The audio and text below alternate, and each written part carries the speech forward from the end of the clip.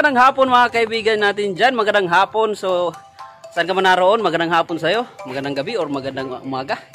Sana'y nasa mabuti ka mong kalagayan. So, no, ngayong hapon mga kaibigan, ang content natin ngayon ay...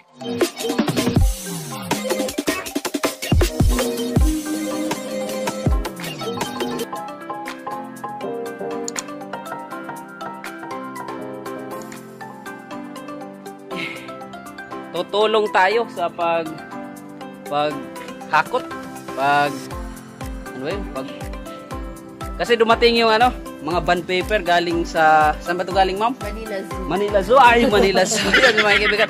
Nung nakikita nyo yung truck niya, ang laman niyan is mga bond paper. So, para mas mabilis tayo matapos, tumulong na ako kasi anong oras na? 5, alas 5 na, hindi pa ako nakakauwi. Kasi inspect pa namin yan. So, ito. Ito yung mga kasama namin, no? si Ma'am Marce. Ayan, sa, yun yung team leader namin. So, yun sina, sabi ko sa iyo na nagregalo sa akin ng ano, tea. Ah, ano, drip coffee. So, yun. Ang isa umalis. So, yun mga kaibigan, ah, tapusin niyo po ang vlog na to. Magpapagod tayo. Yan, so.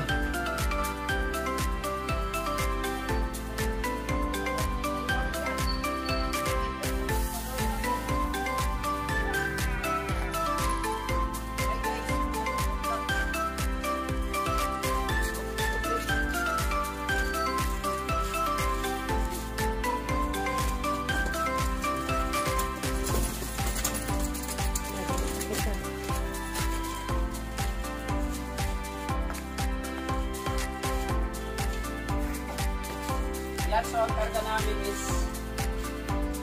Walo. Walo.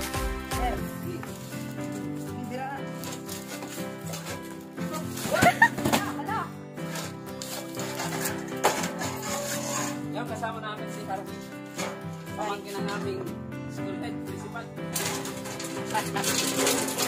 Like yung video ko.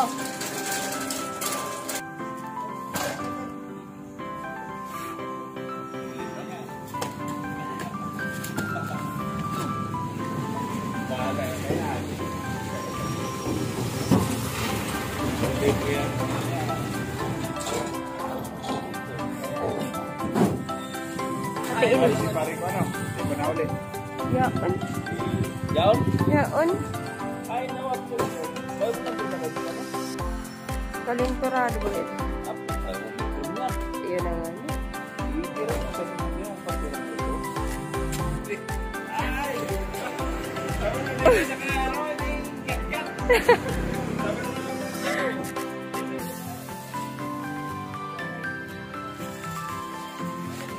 Okay guys, uuwi na siya. Uwi na po ako guys. Wala. Hindi pa naman yung ano? Labor. Kargador. Pero okay lang.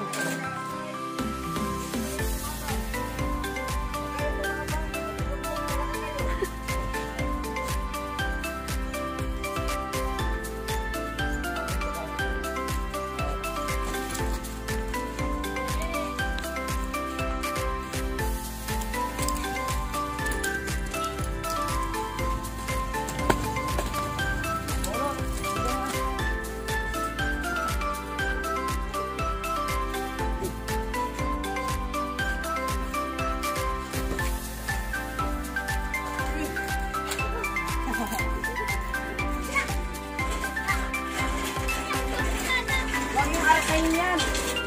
Pag arkayin nyo yan, madudunot kayo.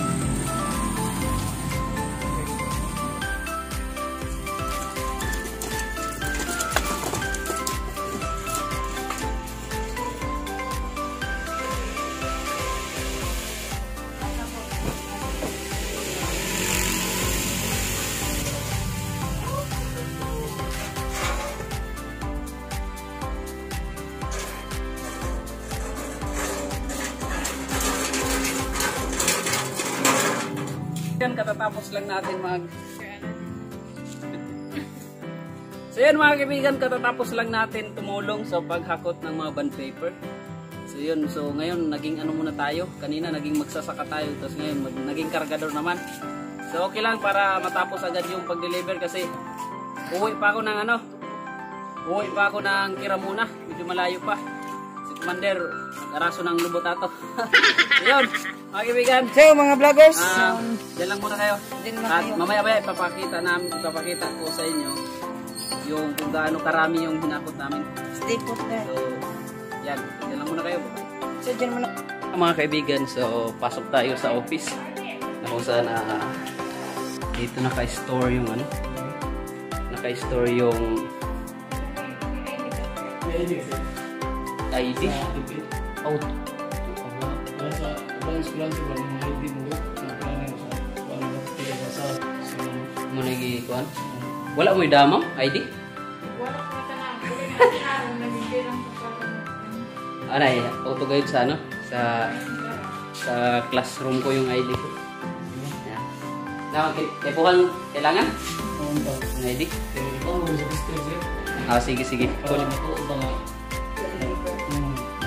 Picture na lang ako.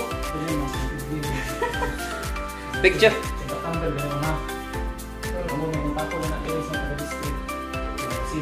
So, yan so sila po yung nag-deliver. Galing pa po to sila ng Cebu. So, ang layo. Nakarating sila dito sa Burias Island. Burias Island, Masbate. Ito yung pinakadulo ng ano eh, ng Masbate province ang amin San Pascual.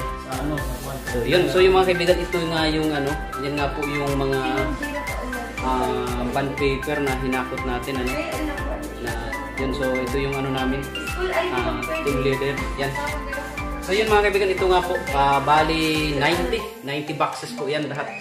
Para po, para yan sa mga modules natin. Inspect natin, no? Ah, lahat ng dumadating dito sa district. Ah, ini-inspect namin yan. So, ito ano lang to, ito lang isa lang yung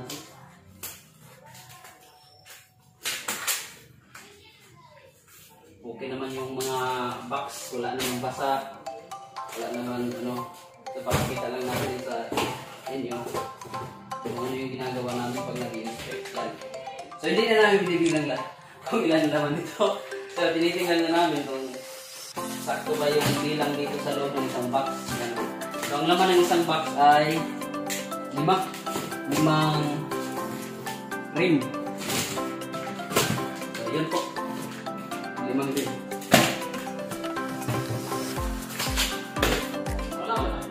So, yun, maraming maraming salamat po sa inyong panonood dyan. Maraming maraming salamat po hanggang dito